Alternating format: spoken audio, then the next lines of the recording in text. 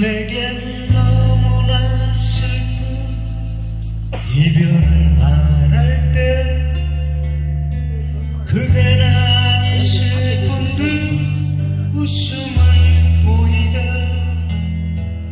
정작 내가 일어나 집으로